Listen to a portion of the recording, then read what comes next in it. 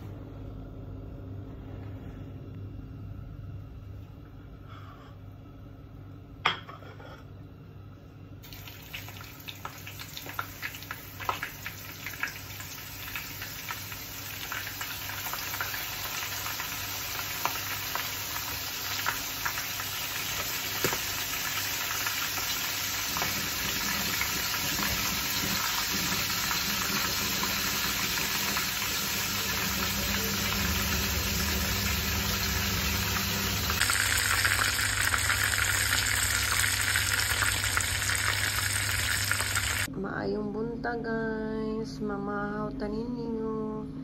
Mauni akong kanon karong bunta guys. Daghan kayo nga kanon o sa kabalde. Unya kini ako ang humbang ng kagahapon pa ni siya. Kay nagluto ko daghan. Nagprito ko karon og isda nga amo aning pinaslan guys. Nanguha mi. Og kanang naiisda dito na masulmi og hot chocolate guys. Paingon-ingon kog hot chocolate guys. Hot chocolate pero ubaltin ba dyan akong gitimpla?